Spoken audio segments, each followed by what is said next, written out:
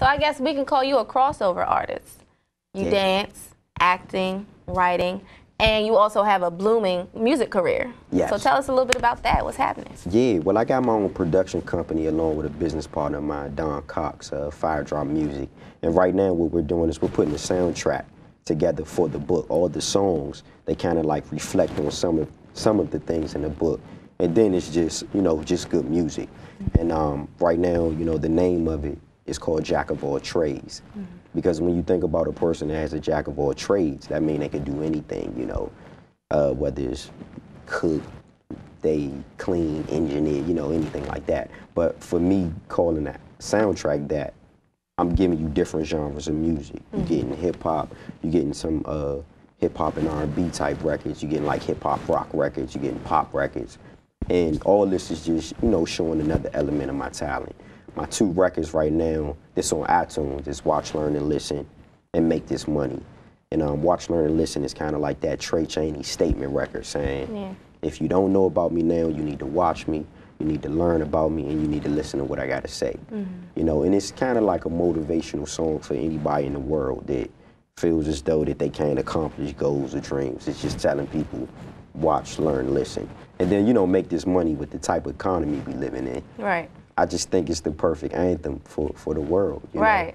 Make Definitely. make this money. I've know? heard it. It- it- it- it's that- hype, too. And, and not and not in a bad way. Yeah, You know? yeah. I don't want to give off that type of perception. You know. So Mm-hmm. um, yeah, I'm real. I'm real excited about it. I can't wait. I think to give it. I mean, because we're we're working on a lot of songs, so I'm not going to say that it's coming out in like March or something of tw 2010, but it's coming soon. You know. So look for it. Yeah. So look for it. So what does it take to to keep the momentum in this industry? What what could you tell somebody that's up and coming, that's a poop, Yeah. still in the hood, still where they are, trying to you know do better? Just do better. What would you tell them? Well, be prepared for rejection. You know, if you don't have a if you don't have that mindset that I might get rejected by a hundred people, then this business is not for you. Wow. You know, and I mean you really have to hustle and just take it upon yourself to to do what you have to do. You know, I mean, of course you have examples. You have people in the industry that, you know, moved to Hollywood and slept on people's porch and stuff like that. That's what they did to Right. get to where they are. But, you know, I guess I want to put it in the sense of being a positive person. And you always got to, you know, really put God first and, and have thick skin because nobody's going to hand you anything. You know, I, I still had to audition for the role of Poot. I still got to audition for the independent films that I that I'm uh, that I'm currently in. You know, as far as my book, I took it upon myself to write it myself. Yeah. You know, I had Yolanda D. Coleman, which is a good friend of mine, who um, you know collaborated with me on it.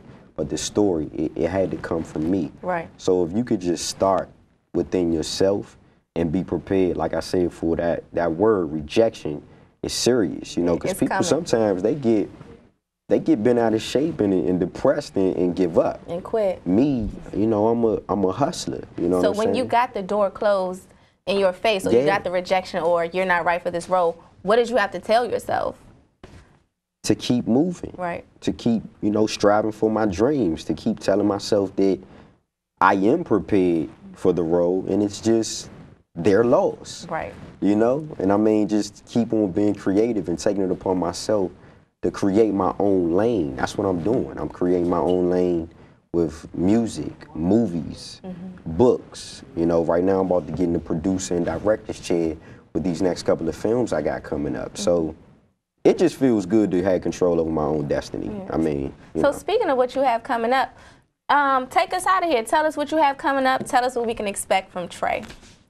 Well, y'all definitely can expect the album. You know, Jack of All Trades is coming real soon. And uh, actually, you're going to be the first one to know the date so we can, you know, premiere it. Nice. And uh, what we do, I did a film with Freeway that's out in Blockbuster's Target right now called What We Do. It's, it's, it's based on his life. But we're working on part two starting in March of uh, 2010. what we do. Part two, it's me, Freeway, Mm-hmm. uh, Beanie Sigel supposed to be making an appearance in it. And you have the Wire tour possibly coming up. Yeah, too. the Wire tour where you know me and a lot of my cast members, such as you know the Bodies, the Stringers, the Wallace, uh, Omar, Snoops, we we all supposed to be getting together, putting together Everybody. yeah, just to you know really go around. We're gonna hit different schools.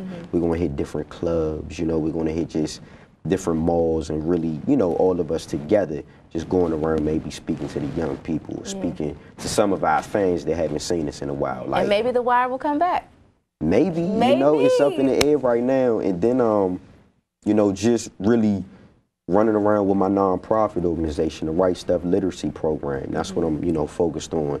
Really trying to encourage these people to read more, you know, and, and we're doing that with my book being like the, the standard book as well. Because, like I said, I wrote it from the heart, Right. and it's nothing that nobody can't understand. And, Right. and the young people, they really can identify because I was in their shoes once, you know, whether, whatever they're going through, if they're suffering from depression, Mm-hmm. if they, you know, have a habit of, you know, the, the whole quote unquote beefing with each other and stuff like that. I've been through stuff like that, yeah. Yeah. So I mean, you know, just just trying to motivate and inspire every day through, like I said, the music, uh, me being an author, the movies, and just taking control of my destiny. Cool. Well, thank you so much for Yeah, I stopping through it. with us. Yeah. The book, The Truth You Can't Betray.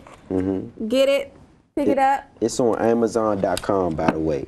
The book, The Truth You Can't Betray, is on Amazon.com. Keyword Tray Chaney. My uh, my music um, is is going to be available through iTunes. I got my two singles, Make This Money, Watch, Learn, and Listen on iTunes right now as we speak. So y'all gotta go get that. Go get it right now, and um, just look forward to uh, more and more stuff to come with this new year coming up. You know, Tray Chaney and his and his staff, we gonna be out there ripping and running. You know. So when we come back, you're going to do a performance, right? Yeah, I'm gonna perform my hit record, you know, that's on iTunes right now. Watch, learn, and listen. Okay. Watch, learn, listen. Come back. Tray Chaney. We're going to watch, we're going to learn, we're going to listen.